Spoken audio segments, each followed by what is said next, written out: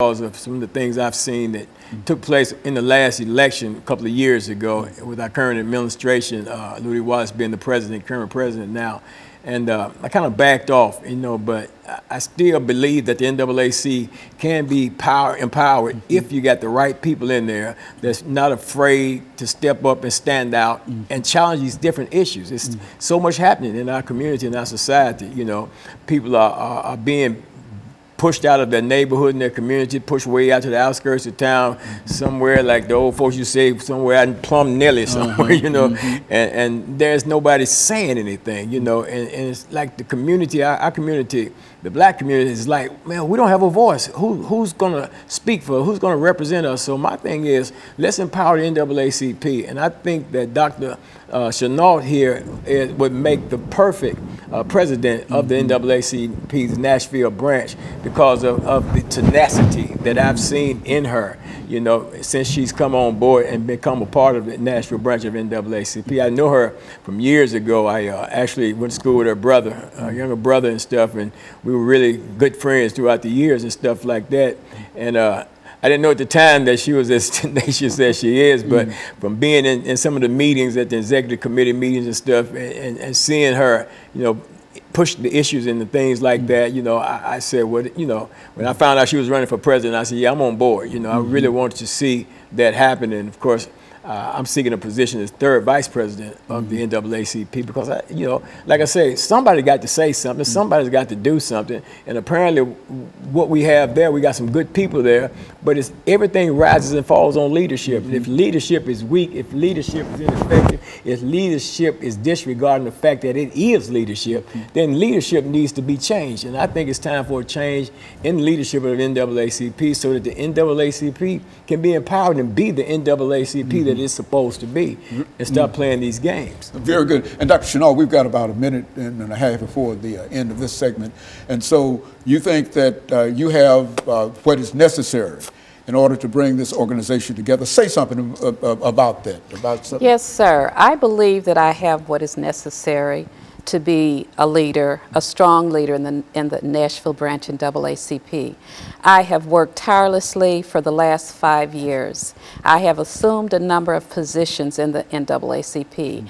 I have exerted uh, energy in trying to get issues out front so that the community as well as the establishment can understand that regardless of what the matter is, it's not about race, it's about right. And there are a number of issues that have confronted the community in the Nashville area that have not been, as uh, Pastor had said, has not really been vented and discussed in our community. So very much so, I believe that I am a strong leader and I can lead the NAACP into a successful year. Very good. What we'll do now, Dr. Shinault, is to take this second, uh, final commercial break, and we'll be back with our audience following this very, very short commercial break.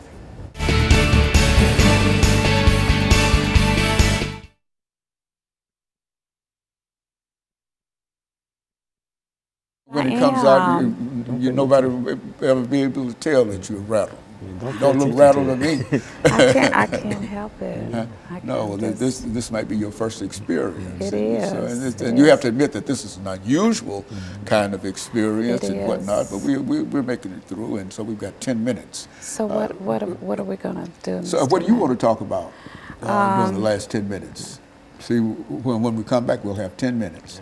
And so what, you want to talk about what? Voting? That's, let's talk about the suffrage. Or you wanna- and, and, and what you're planning on doing in reference to the suffrage and etc. Whatever you wish to talk about. And, and, and you started off, and Pastor will help, you know, give you some information in reference to what he has to just- say. And And lay out there, you know, Yeah, the well, platform, I what you it- want to do is, you know, as yeah, president and it, stuff it, like it'll all come together. Okay? and how you can take this you know, mm-hmm. Yeah. organization to the next level. Okay. Okay. Yeah, just.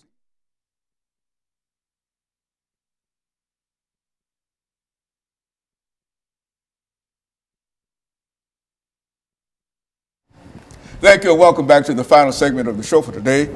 We're talking to Dr. Uh, Tallulah Shinault, uh, from uh, the National Association for the Advancement of Colored People, and Pastor Kay Walker, who's also a member of the uh, National Association, and his granddaughter, who's with us. And this, I think, is her first television experience. And uh, she'll learn. And I think that uh, what we're trying to do today is to not only empower the community, Dr. Shinault, but to talk about some of the ways, that is the suffrage, how that might be, uh, we might be able to do that. So let's use the last few minutes to talk about voting and the suffrage. Okay. Uh, voting, as we know, is extremely important in our community. Our visibility, our empowerment, all depends on whether or not we register, get our documents in order, and vote. Voting in Nashville, Tennessee, regardless of whether it is the school board, whether it's Congress, our senators, and our representatives, is extremely important. A number of policies have been passed in our council meetings, in our Senate, that are not beneficial per se to the African American or black community or the community of those who are impoverished. And the only way in which African Americans and other minority groups are going to truly, truly receive social justice is that we vote, that we make a, uh, an appearance at our council meetings, that we vote, especially in this presidential election. Now, as as a branch secretary of the NAACP, we are bipartisan, mm-hmm. okay?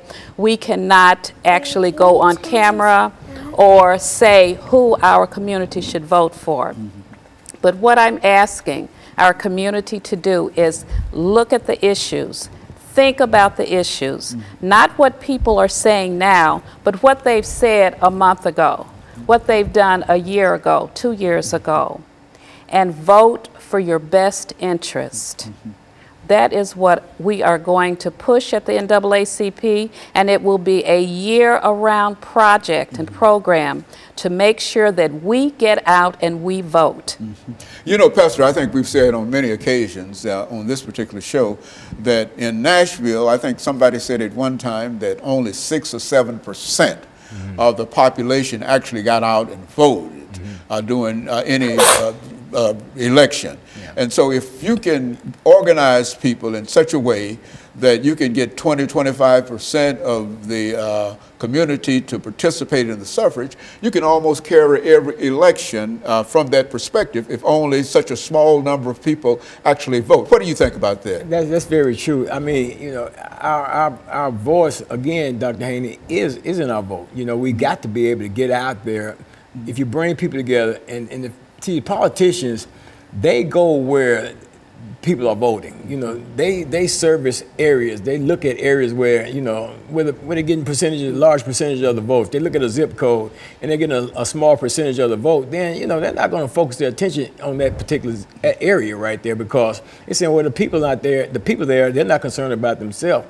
But on the other hand, if uh, organizations like the NAACP uh, will put together a consistent year-round uh, voting registration drive. You know, not just waiting until an election come up and then you know two months before the election, you're out there registering people to vote, but make it an ongoing, consistent thing, keeping it uh, always in the forefront of the people. Then the people will start begin to see the value in in voting. You know, and that's what we have to do. We have to keep it in front of them. Uh, another thing that, in addition to all of that, the NAACP, you know, we have to be uh, visible.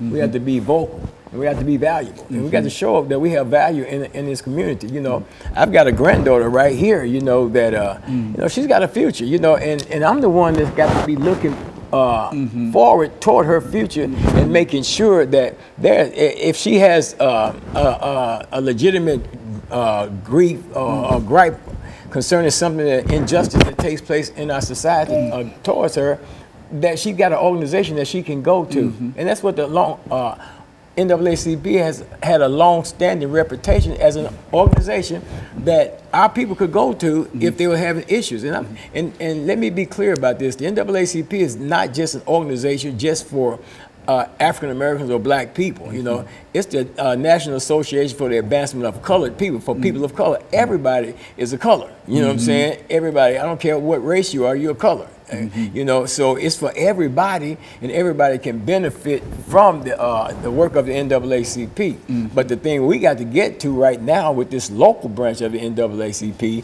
is putting some power in it, because right now, you know, you have people say, "Well, you got to bark and no bite."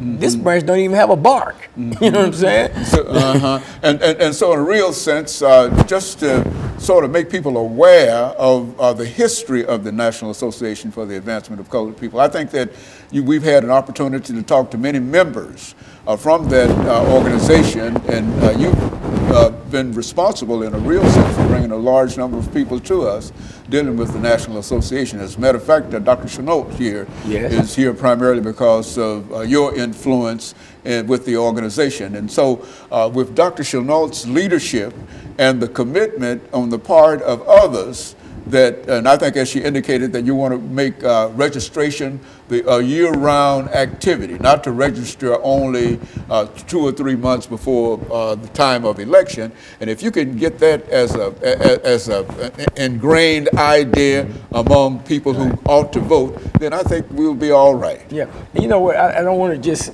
just just lock in steadily just on the vote thing because there's so many other things, issues that's plaguing our society and stuff. I mean, with the police brutality and all kinds of things, discrimination in housing, all these different things. There's so many different committees uh, in, in within the branch of NAACP that need to be empowered with people that have a the concern about what's going on in our in our community. So I'm saying to people, if you got a concern about what's going on in our community, and you've met and you've met and you've met, and you got all these great ideas and these strategies, but yet you don't have a power source to, to put them into it and to make it happen, then we're encouraging you to come and be a part of NAACP because the membership part of the NAACP has a power base within itself.